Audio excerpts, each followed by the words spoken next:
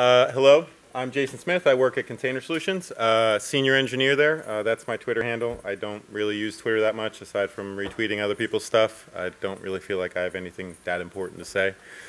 Um, so today I'm going to be talking about binary protocols. Um, but before I get into what you probably came here to see, I'm going to start a little earlier at the beginning. Uh, we're going to go back to 1844. So in 1844, the telegraph was released. Uh, the, it became incredibly popular. Uh, the lines spread all over the world. And on those lines, uh, there was an encoding. Uh, we're all familiar with it, Morse code. Uh, and Morse code is described as a series of dits and das, or some people call them dots and dashes. And, but it's a, it's a little bit more than that. Uh, Morse code is actually binary. Uh, it's broken down by a time unit, uh, which is a bit. And each dit, da, gap, everything else is, uh, is actually equatable to a binary value. Dits being uh, a 1 plus the 0, it actually has to be defined by the gap following it. Uh, just follow along. Some of you people look a little confused. so that means telegraphy was the first binary protocol on the wire. It was actually the first time we were transferring data on the wire with binary data. Uh, so is this the first network engineer? Uh, not particularly in this case. That gentleman was actually cutting the wire. Uh, this was taken during the Civil War, and he was cutting the wire trying to hide the, uh, the network, from the network partition. so uh, is that all we have to learn from Morse code? Uh, not exactly. So Morse was thinking ahead. Uh, if you notice, some of these letters uh, have shorter notation than other ones, such as E, I, S, T, N. He was actually, he chose those because he felt like those were some of the more common uh, letters used when communicating. And uh, it was, it was, so what he wanted to do is he wanted to make them have the shortest notation. He wanted the actual message being sent on the wire to be as short as possible. He was being frugal with the number of time units. Uh, he wanted to make, uh, like I said, he wanted to make the message as small as possible. So there's actually a name for this. This is called entropy encoding. I don't know if any of you are familiar with Huffman encoding. It uses the same principle. Uh, and the idea behind Huffman encoding, or I'm sorry, entropy encoding, is that you take um, the most common occurring symbols and you assign them the smallest values when you're transferring that message. Uh, so this is, so Morse code wasn't only the first time that uh, we sent binary data on a wire, but it was actually the first time we encoded data for the smallest footprint on the wire as possible. So that was the history lesson for today. Uh, so uh, also nothing, nothing we're doing is really new. I mean, we've been kind of dealing with the same problems for a long time. So we're going to cover three things today. Uh, first is how we got to where we're at right now, where we're discussing binary protocols, uh, how binary, binary protocols work, and uh, why are we adopting them at this time. So, and hopefully if you're going to walk away with anything out of this, uh, if you already know this information, you're probably going to walk away with a sense of smug satisfaction, and if you don't, hopefully it'll help you think about what it means to be writing microservices in a cloud native environment. Um, so let's start by looking on how we got here. So to start, uh, we're going to fast forward to from 1844 to the 1960s. In the 1960s, pretty much all the way through the 1990s, RPC became pretty much the dominant form of inter-service communication uh, for uh, a distributed system. But it had problems. Uh, we had stubbing, coupling, complexity, and it, it, wasn't very portable across a lot of different languages. And most, in most cases, though, it was using binary data to communicate. One of the bigger problems with RPC, though, is, is it had this idea that the network was supposed to be transparent to the developer meaning that they weren't supposed to be aware that you were communicating over a network. Right now, we know that's just not true. Um, we need to know that we're working on a network. Um, But aside from all this, uh, even with all these caveats, RPC is still widely used today in distributed systems. So then in the 90s, we got HTTP. And uh, it was, it's been widely adopted. It's, it's adopted because it's open and it's easy to tool for. And there's a robust number of tools. Lots of languages can write um, uh, uh, interfaces for it. So, and it, that made it easily multilingual. But it led to what we have, uh, what we're commonly seeing today is data in text and the first popular one being XML. Uh, the problem with XML is, of course, it's large, it's really, really complicated, it's hard to read, and uh, it led to really big data packages. Uh, two of the most popular uh, uh, communication systems with us were XML and then uh, followed by SOAP. So next we had JSON.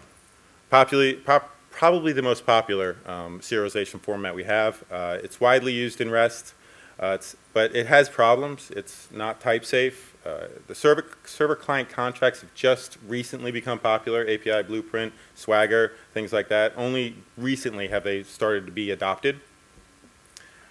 Um, and it was still text, so it was slow to deserialize. But both HTTP with the text formats has led to what we commonly refer to today as web services.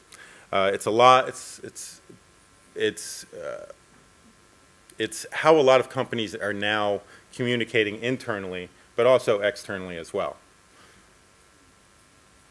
So that's a little history on how we got there. Um, now I'm going to go into a little bit on how they work. I'm just going to go a general overview and try to get a, a concept of uh, how they're trying to reduce the message, message size by using binary formats. So they try to achieve one thing. They try to try to make things fast. They're trying to make uh, make it fast in three different ways. In one way is they try to make these messages small, uh, so they transfer over the wire quickly.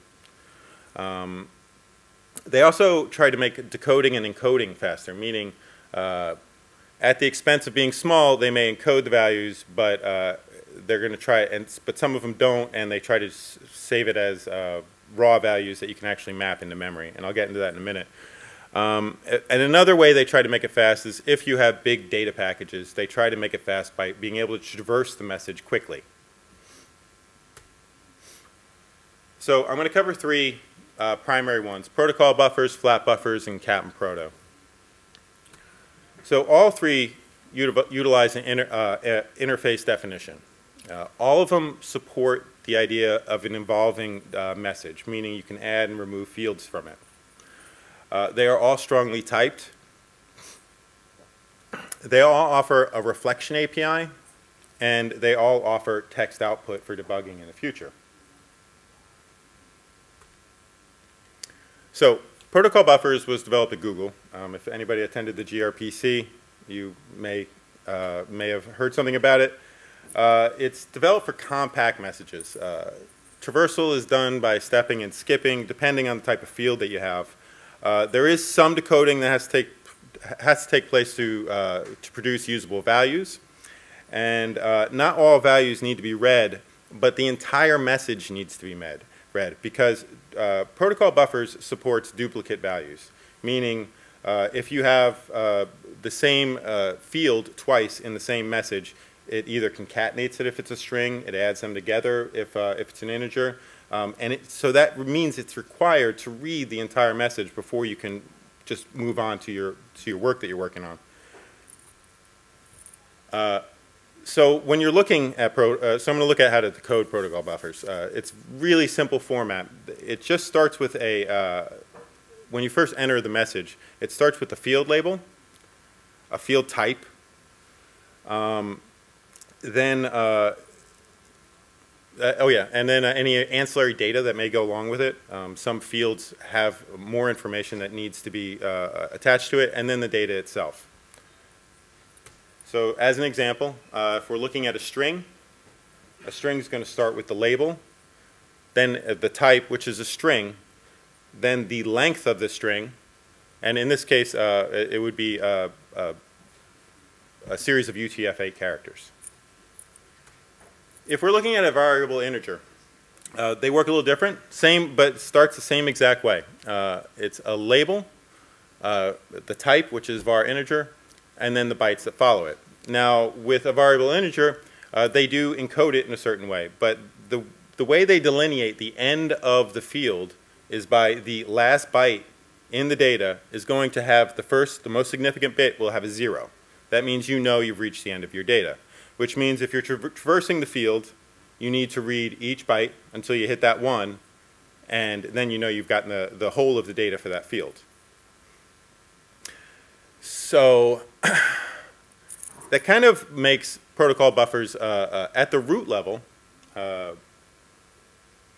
I'm sorry, let me back up here a second. Uh, so using the length of the word and the length of the variable integer, and by skipping over these bytes, you can actually tell where one field begins, and then you assume the next field, uh, or one field ends, and you assume where the next one begins. And this sort of stacks the, uh, the fields on top of each other. They're completely independent. They don't know about each other. And you can, in theory, append more bytes of data to the end of your message, and that will be continued to be read. And in this case, uh, order is not required either. So now I'm going to talk about flat buffers and Cap'n Proto together, and then I'm going to uh, tell about, talk about some of the differences in some of the decoding processes. So uh, flat buffers was also developed internal by Google, and Cap'n Proto was developed by Kenton Varda, who is a former developer for Protobuf at Google. So they both use zero copy, meaning that the values come straight out of your message, straight into memory, and there is no decoding process involved.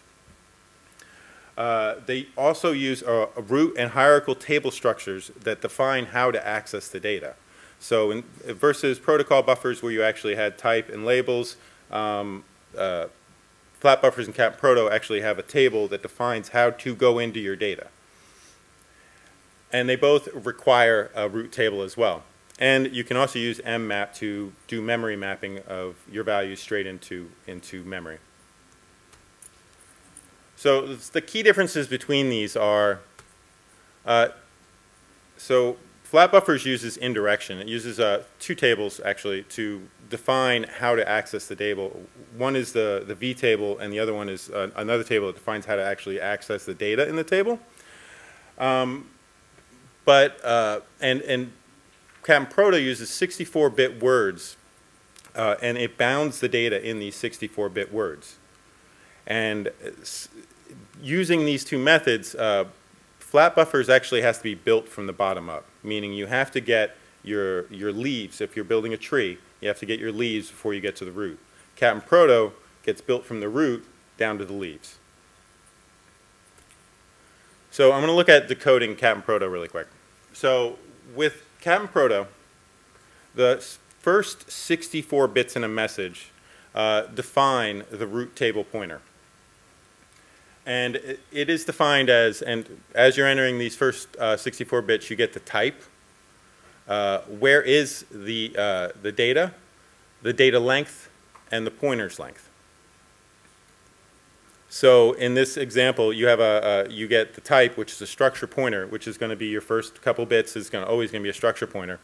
You're going to get the word offset of how many words over are you going to be uh, uh, traversing before you get to your words of data.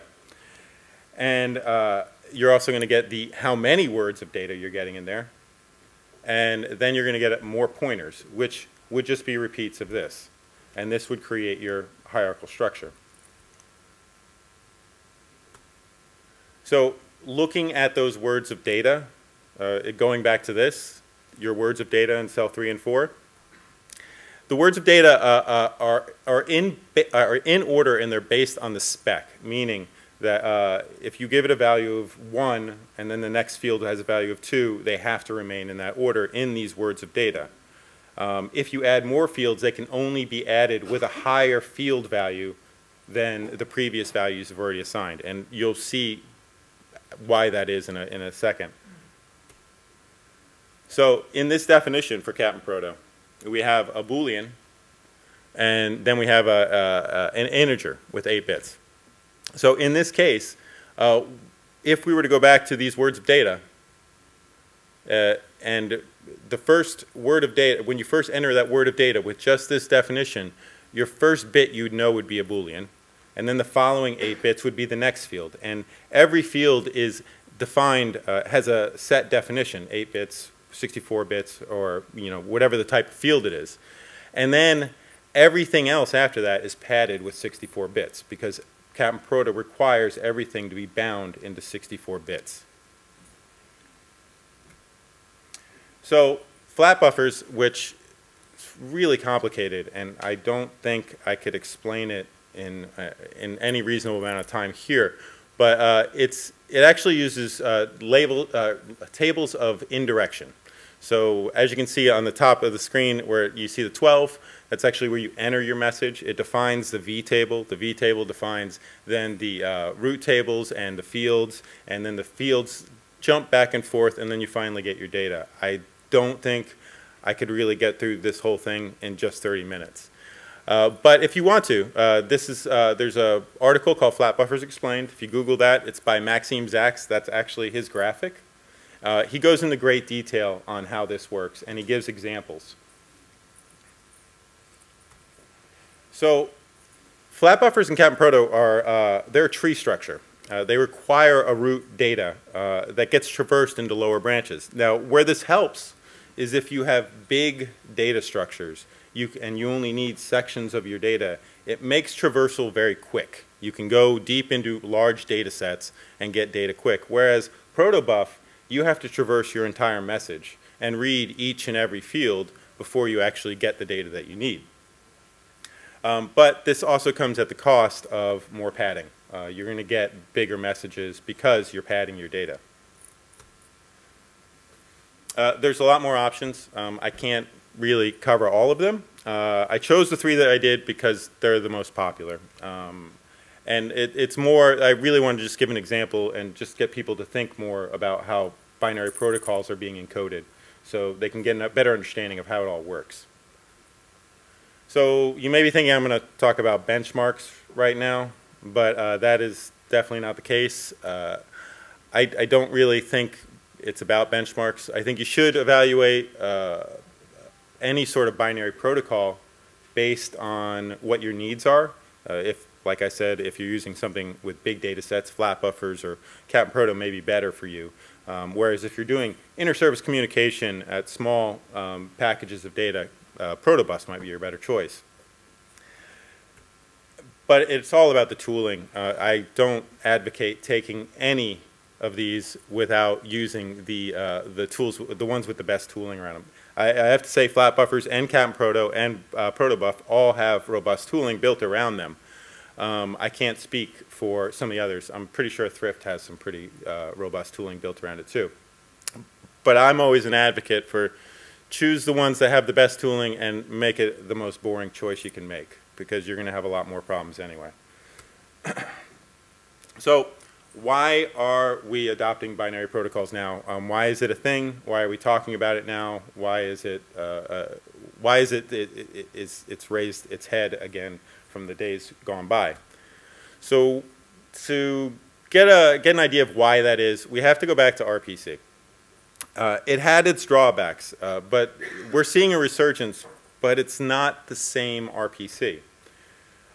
Unlike the old RPC, uh, systems like gRPC uh, do not hide the network. You're completely aware you're working over a network. Uh, it also is well defined and it's open and it's widely available across languages. And I'm sure they're trying to port it to more and more languages every day. And we have to come to terms with the fact that microservices are not web services, which means we don't want to write our services as web services anymore. Um, we need to be writing our services to, uh, to handle, to, to be as minimal as possible. So I'm going to give you an example. Uh, I don't know if anybody here is familiar with the Sock Shop.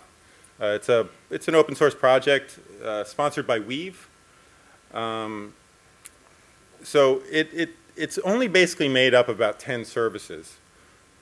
But this is all the other traffic that is required to get it, uh, that, is, that is happening in the background. So it's not just the sock shop. You also have Kubernetes traffic. You also have Prometheus traffic. Uh, you also have open tracing going on. And you can see this isn't uh, just making a request to FedEx to figure out how much the shipping cost is for a product you want to ship. This is constant, um, persistent communication going over the network. Uh, by the way, this is uh, Weaveworks. They got a booth upstairs. If you haven't checked out their product, it's amazing. so the reason we're doing this is we're trying to shrink our footprint. Uh, we want to shrink it on the network, we want to shrink it in the CPU, and we want to shrink it in memory. Uh, and binary, binary, protocols helps us on all three fronts. So uh, uh I was actually surprised by how many Americans are actually at this conference. But uh, in 1992, uh, there was a, a, campaign manager for Bill Clinton, uh, and he uh, famously said, "The economy's stupid." And uh, this is James Carville. I love this statement. Um, I, I, think it's, it, it, cuts right to the issue. It got Clinton elected twice in a row, uh, but it, it, he, he doesn't mince words. He, he, doesn't, he doesn't beat around the bush. And so for us, I think it's, it's, it's cloud native stupid. Um, but that's that's my boss. He's sitting in the back there, Jamie Dobson. uh, he's also speaking next at this event. Uh, but uh, no one at Container Solutions thinks anybody in the room is stupid. And if you have any interaction with Jamie and Penny, my other boss, um, this is pretty much our office dynamic. Um, So the point is, we're trying to move to be cloud native. Uh, in that, we are trying to reduce our service footprint. Uh, so we stop thinking about using uh, APIs and web services and things like that. And uh, we have to think about being more economical and productive forms of inter-service communication. And that is primarily why binary protocols has become the hot topic of conversation at this point in time. Uh, so that's my presentation. Thanks. Do I have any questions? Yeah. what are the implications for streaming? As you said, like protobuf has to be evaluated as a whole. You mean uh, streaming? So I, I, need chunks of data, uh, and I want to process them in the consuming service. Right. Uh, what is what is the implications? I couldn't say what the implications. I haven't thought about it, but um, so streaming uh, on the level of like say gRPC. I mean, in, like in, uh, XML, so it's right. So it's got it's got two it's got two effects there. Um, if you are using a buffered channel, you know, and just reading it off the channel, it does make it faster in the fact that you can just skip over bytes of data. Um, but you have to finish your whole consumption. Um, aside from that, uh, but you, so so it's it's it's kind of like a double-edged sword there, I guess.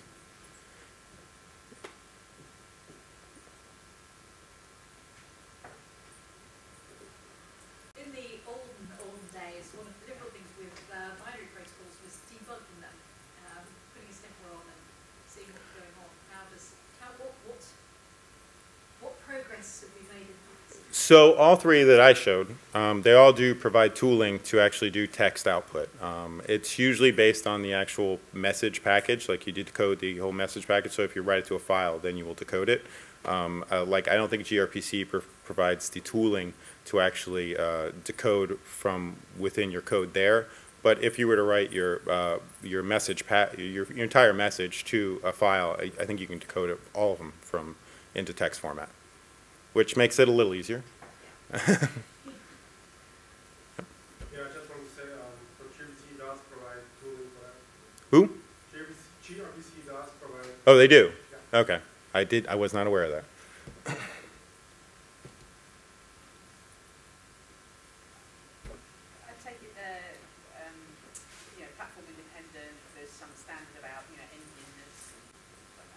Uh, yes. Uh, so um, I think uh, Cap'n Proto, I'm pretty sure is Little Endian.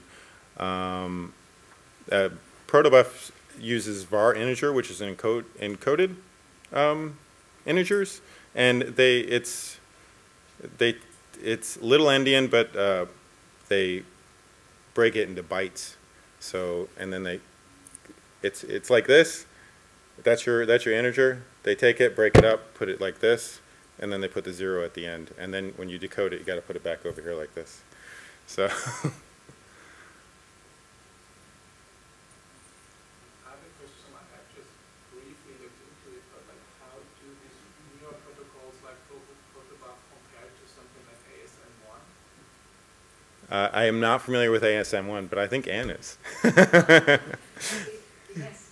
Um, oh, that's a good question. You're, you're pushing me back 15, 20 years, but I think it was, so ASN.1 wasn't a tree structure, unless anybody remembers ASN.1. I don't think, I think it, I think it was a, a, a more like a protobuffer than like a, um, like a flat buffer. What Cap'n Proto? You had to read the whole thing. Yeah. The, the horrible thing about ASN was there were lots and lots and lots of different variants. You could do it any, and it was incredibly difficult to read it on wire. It was just astonishingly difficult. So I think they, they, I think they've taken all of the learnings associated with the miserable, I had a miserable view from ASN.1. I think they've learned from that, and they are doing things like having, having built in the ability to look at the, to, to output to text file. That is everything really. That would be one thing. XML is more like an XML compiler. With all, with all its pluses and minuses. Yes, it is And actually. type which is not defined Yeah. before you look at it. Yeah. So I know protocol buffers, they are, they are self-descriptive in a way that the definition of the message is actually a protocol buffer message itself. How does that work for Cap'n Proto and uh, web buffers? I'm sorry. Uh, So when you have a protocol buffer message, like the definition of the message, uh, that's actually a protocol buffer message itself, like description. a definition of the message, So when you have like the dot proto file, right? uh, that's like the definition. It's uh, it's a protocol buffer message itself. It's like so-called descriptor. I, I don't I don't think protocol buffers works like that. Oh, it does. Yeah. Uh, so my question was like, how does the self-descripting element work for the other protocols? How does the what? The self-descripting protocol. So the thing is, you have a service running, and Right. You have a you have an IDL. dot proto definition. Right. And when you have a service that wants to send you, like, what's the protocol buffer, uh, like, how does the dot proto file looks like? It doesn't send you the textual description of the dot proto file, but it sends you a so-called descriptor, which is a protocol buffer message itself. As far as I know, it doesn't send you a descriptor. As far as I know, it sends you as soon as you start entering the message. The first thing you look at is the label, and then the type. Oh yeah, sure. So No, that's, but uh, okay. Anyway, we can it. Okay. Okay.